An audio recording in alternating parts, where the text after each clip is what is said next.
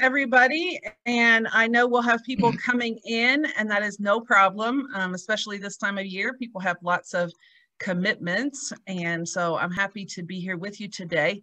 Um, up until a couple weeks ago, I actually was a program director for the Better Business Bureau serving Dayton and the Miami Valley. And before that, I was the business reference librarian for Dayton Metro Library. I have um, taken a, a, time away to be able to lean in with my kids who are in junior high, believing this is a really important time with them. So um, I am concentrating on networking and so forth rather than working full time at the moment and um, running interference for two boys who are 12 going on 35. So happy to be with you today to have adult conversation instead of conversation that revolves around backpacks and Chromebooks and water bottles and lunch boxes and so forth. So um, Shelby asked me to come today and talk to you about running efficient meetings or effective, productive meetings. And I would like just for a, a moment or two to kind of get a sense if there are specific things that you would like us to cover today. I have some goals um, on the agenda that I will definitely talk about, but I want to know if there are any um, hot button issues that you're hoping that I will cover as we go along, because I can certainly add those into the dialogue. Anybody have anything that's a big concern for you?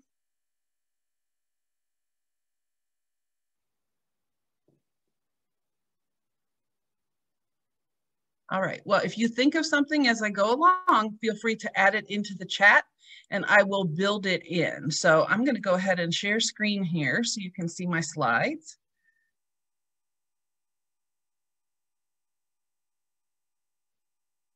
And I will certainly um, send these to Shelby so that she can share them with you um, at her convenience.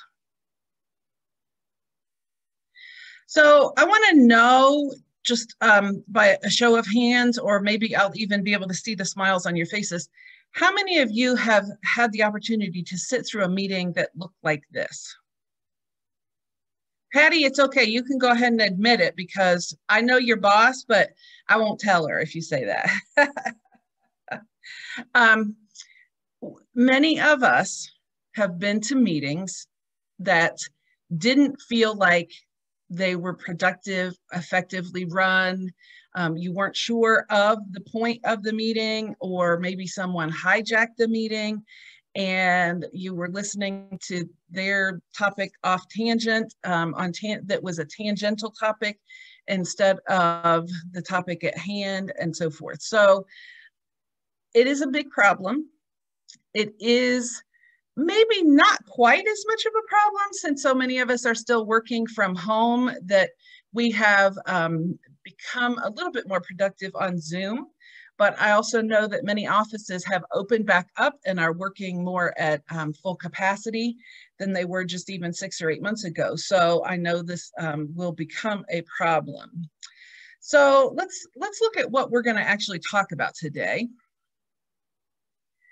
I have divided the presentation up into 10 sort of tips or topics, if you will, over the idea of planning, leading the meeting, and follow up after the meeting. And what does that actually look like? What are some things that you need to do ahead of time?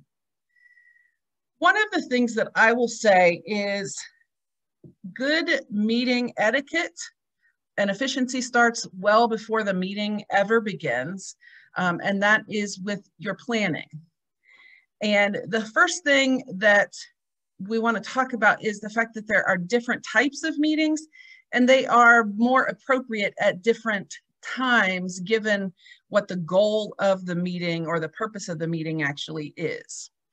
We have the informational meeting, which is more like a lecture, if you will. Somebody's coming in, it's a sales presentation. Um, oftentimes this is an element of a decision-making meeting where somebody's doing presentations or several people are doing presentations for you. There is a decision-making meeting where the goal of that meeting is to make a decision. I can remember years ago, um, one that comes to mind was deciding on running a levy campaign for a library I was running at that time, right? So that was a big decision making meeting. Um, there are often several players, whether they are potential vendors or salespeople or um, candidates interviewing for a job. There are several players that will share information and this decision making piece, just like the informational piece, can be part of any meeting. The update meeting leaders are providing project updates. So if you imagine this is when um, your CEO, your department head pulls you together and asks, committee meetings often fall into the update category, especially if they are um, driven towards planning an event or uh, working on a project together of some sort.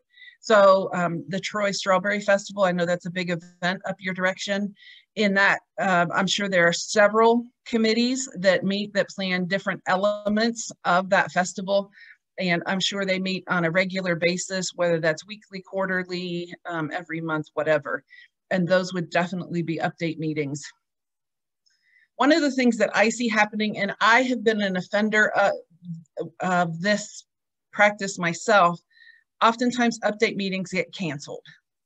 Um, a lot of people can't attend um, or the leader can't be there, or maybe we don't have a lot to talk about, so we cancel those meetings. And invariably, when I have made that decision to cancel a meeting like this, um, something comes up in the next week or so that we really should have talked about at an update meeting. And so I encourage people to carry forth those meetings, even if they are short and informal because I think it gives you the chance to head off something that may come out of the woodwork a little bit later. Now, obviously, you can't guarantee that nothing's going to come up later, but it does give you the opportunity to kind of touch base with everybody, even if they just send in a written report of some sort on their progress. And then finally, we have a working meeting.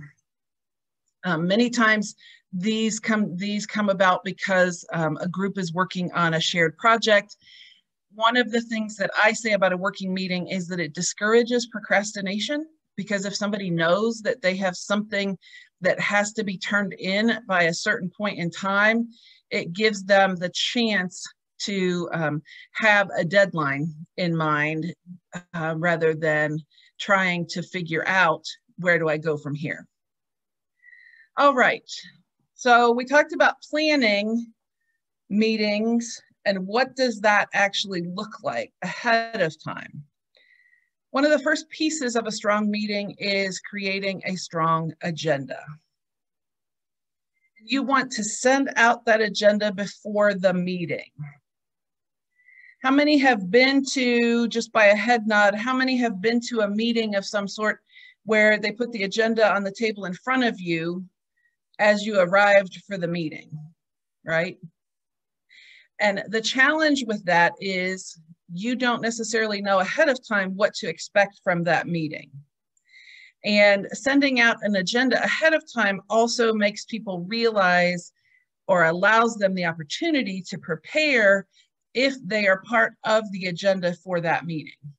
And one of the reasons we have difficulty um, getting agendas out a, ahead of time is because we're overcommitted we just don't think about what's happening with that meeting until a day or two right before the meeting and then there's maybe not time to send it out ahead. So um, in this time crunch world that we live in even if the best you can do is to send it out via email the morning of the meeting and maybe it's a lunch meeting or it's an after work meeting or whatever even if you can only send that out just a little bit before the meeting i feel it's better to do that than to wait and try to share it with people at the meeting the other thing I will say is sending out the agenda ahead of time can be a good reminder for a particular meeting. You want to take time to designate responsibilities on that agenda. And by that, I mean, who is responsible for that particular report? Um, is Patty responsible for follow up related to this um, sales decision? Is David responsible for giving us a committee report from this particular committee? Who has the responsibility for doing the things that are listed, the items that are on that agenda? Um, one of the things that I will say about this designation is it does allow people the wake up call if there's something, a report of some sort that maybe they have forgotten, or maybe it's a nudge because there was a, a action item that was given to you last meeting that you haven't had a chance to accomplish yet. And this gives you the chance to kind of make those phone calls or write up a description or whatever it is that, that is allotted to you.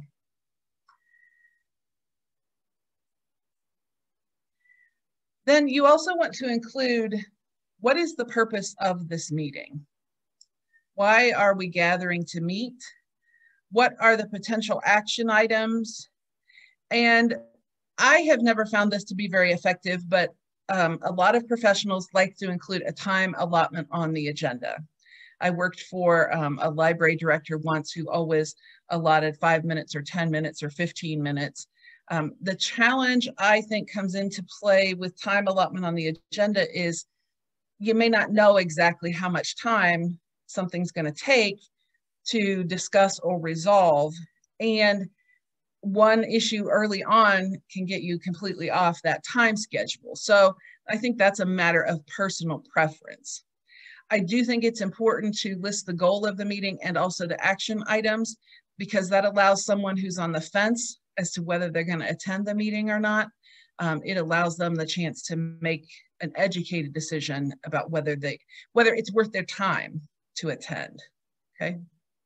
Any questions about agendas planning ahead of the meeting? I'm gonna make this, let me see if I can make this. Um, the way I have this set up right now, Shelby, I can't see the chat. So can you, um, wait a minute, here it is. Okay, so I have pulled up the chat now so I can see your questions if you type them into the chat. That will be just fine.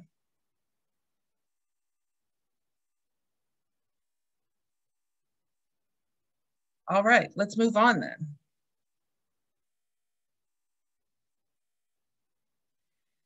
So during the meeting, and obviously this is the meat of your work in a meeting. And there are some tips here for how to make the most out of that particular meeting. In doing some research ahead of time before this presentation, um, I found that there are some trends now related to different types or different meeting styles and the way they can create new energy. Um, now, I realize that we've all had our share of Zoom meetings over the last 18 months. Um, so most of these apply to that new or to the um, in-person meeting. But I think there are some great suggestions here to give some consideration to. Has anybody ever been to a standing meeting where y'all just kind of stood around the a countertop, a water cooler, um, maybe um, maybe uh, like a cafe bar in a um, an area where maybe employees have the chance to gather, a cafeteria or an employee room of some sort. Anybody ever been to a standing meeting? It changes the whole dynamic of that particular meeting. First of all, it makes people move along and it discourages um, talking. It gives you a whole different set of energy because people think and process differently when they're on their feet as opposed to when they're comfortable sitting in a chair. Another suggestion would be a walking meeting. Um, there is a lot of, in fact, I've included a TED talk from a few years ago of an individual who talks about um, sedentary lifestyle, the sitting that we all do at work most days is the smoking of our generation, that it is um, very bad for our health. And she um, is a proponent of having walking meetings, that you all find a walking path and gather together and talk through your particular topics of discussion as you take a walk. Um, I don't know, what is, uh, how does that sound? What does that sound like to you?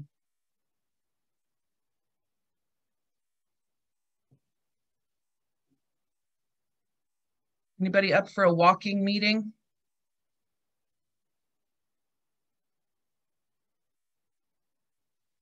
the other option, it may not be a great option in Ohio at this time of year, but um, one of the other thoughts would be having a meeting outside.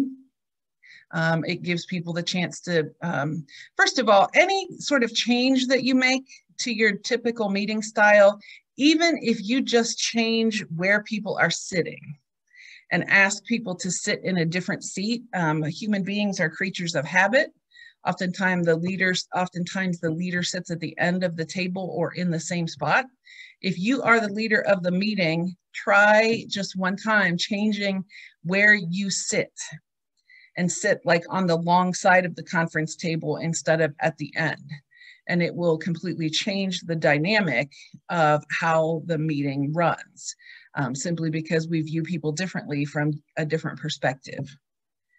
And then, um, like I mentioned outside, even a new location, taking people out for lunch, meeting in a coffee shop, someplace where you've got um, a space that's a little quieter.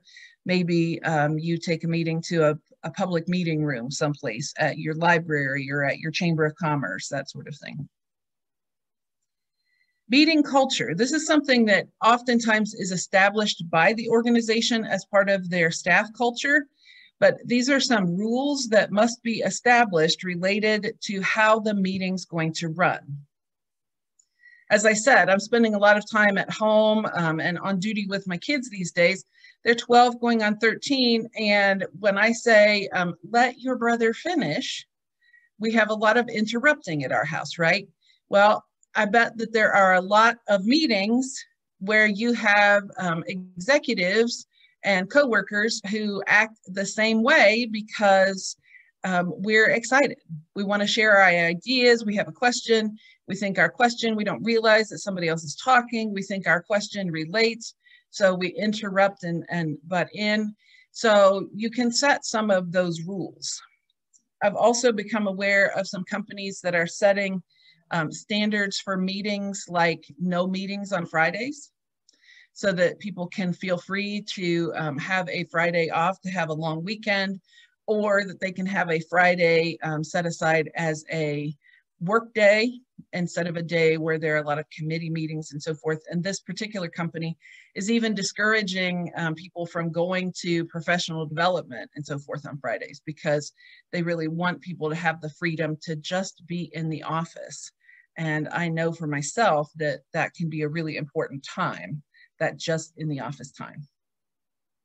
And you want to make sure that people who are going to be on duty during that meeting know what they're expected to do. Um, oftentimes you come around, people ask for a progress report or a committee report. If people didn't realize that that was um, expected, they may have not been prepared for that. They also um, may wimp out on us and say, no report, nothing to report, nothing to share. And so we've not gotten any sort of an update from them at that point in time.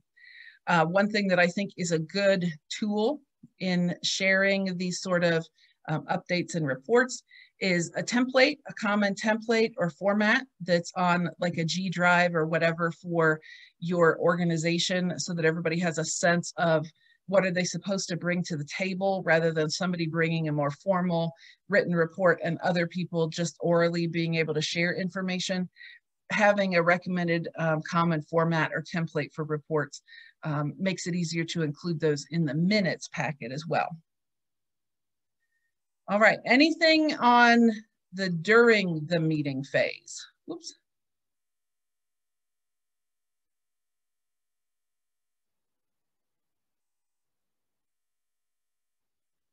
All right, one of the hottest topics in planning meetings is the meeting pirate, right? So I'm a big fan of Dilbert cartoons. I think a lot of things are said through Dilbert cartoons. I, it's an older cartoon series, right? But I think there are a lot of things that are said in Dilbert cartoons that are very important that I'd like to be able to say out loud, but I'm not in a cartoon, right? So um, this is my thought on what we wish we could do right um, in meetings when somebody hijacks it and, and takes it over. And many times there is a common offender right that has taken over that meeting and you all kind of have the sense as soon as they start talking that here's oh here we go again right? Here's here's a 15 minute time waste because this person's going to tell a story that maybe doesn't have anything to do with it. Sometimes this is even social hour. Um, people are so busy, uh, they meet only once a month, maybe a board meeting, um, that they're so busy socializing that it's hard to get to the business of the meeting. Um, in that case, if that's the case, I encourage you to have a social hour with some snacks before the meeting so that people have a chance to get some of that out of their system before you move into the action of the meeting itself. And that way too, then um, that gives people who tend to come early the chance to have um, a little uh, break and a chance to greet and meet people as they come in. So here, number seven of my 10 tips is tips for dealing with a meeting pirate. The first thing is to remember your goal.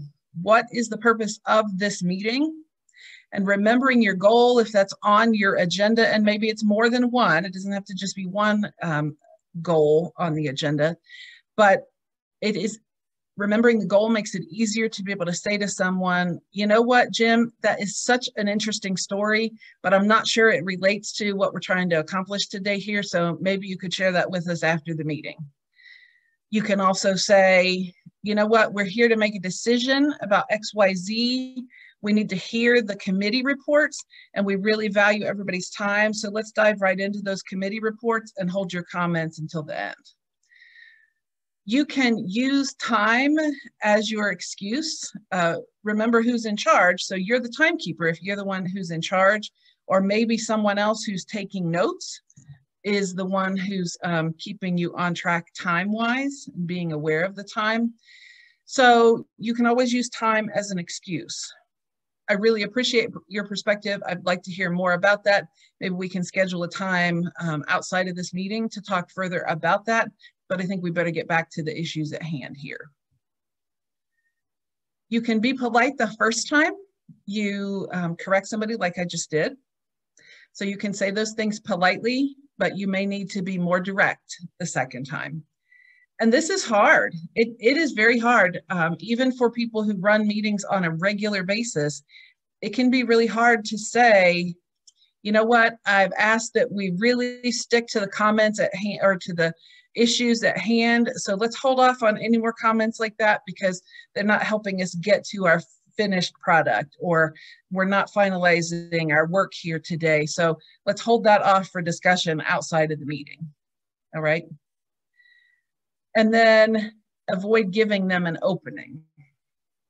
Now I have asked um, several times during this presentation, does anyone have any questions or comments or whatever? If you know you have a, a meeting pirate, um, someone who's an, a habitual offender who um, comes in and takes up time, you want to make sure you word that very carefully. Um, instead of leaving it open to, does anybody have any questions or comments? You may need to say more specifically, does anyone have any questions or comments related to whatever the topic at hand is? Because that gives you an opening then to be able to say, you know what, I really think that doesn't relate to what we're talking about right now. So can you hold that until the end of the meeting and we'll we'll see what we can do about circling back to it. And then you just don't. So any questions? I know this is a hot topic that people often um, have an interest in learning how to do this. So any questions about this particular topic?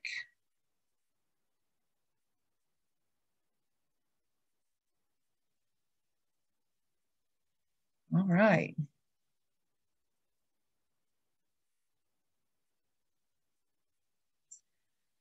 And then you have, what are we going to do after the meeting? What's the follow-up we need to do after the meeting? We're going to reiterate action items. I actually think this is a good step. Um, you might send this out as part of the meeting notes or um, minutes or notes, but I actually think it's a good idea at the end of the meeting before you adjourn to actually reiterate action items. Um, I had a supervisor recently who did that at the end of each of our weekly update meetings. Um, she would go through what she was responsible for. Um, I would go through my understanding of what I was responsible for. so that we knew everything was then covered. And then to reinforce that, we went through um, decisions and action items in the meeting note, in the minutes or the meeting notes. I think you need to send out minutes for corrections and clarity as soon as possible. Um, I, I am committed to that because it makes people do the minutes and the notes, right?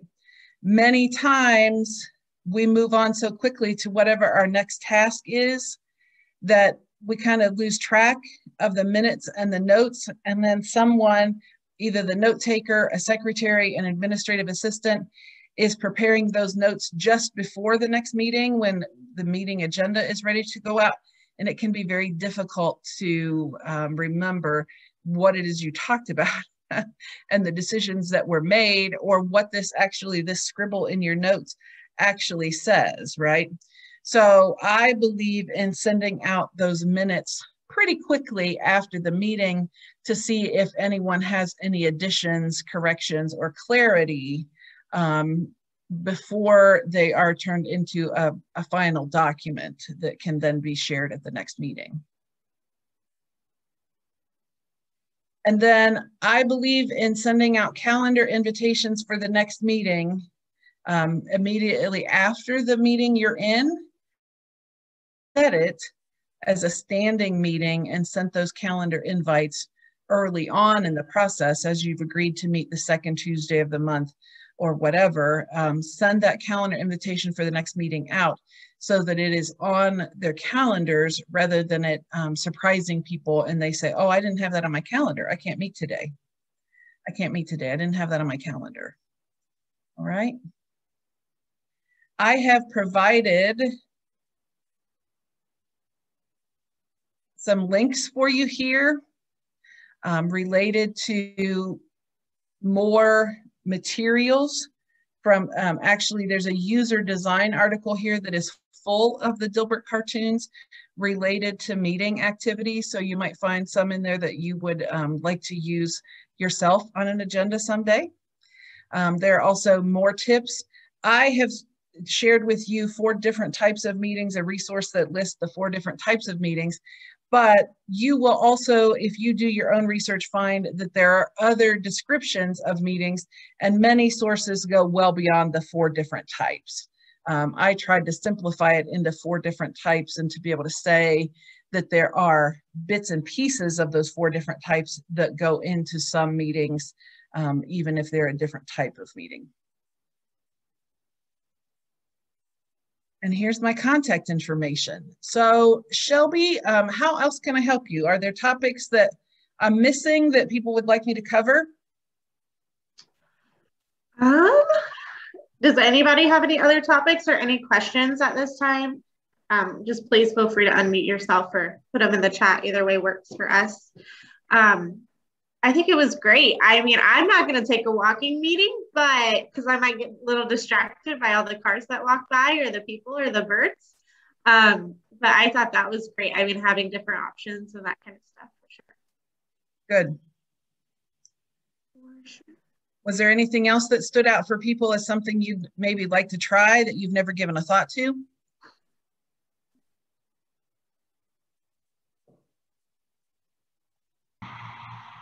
Hey, Ann, this is David Fisher. How are you? I'm good, David. What can I do for you?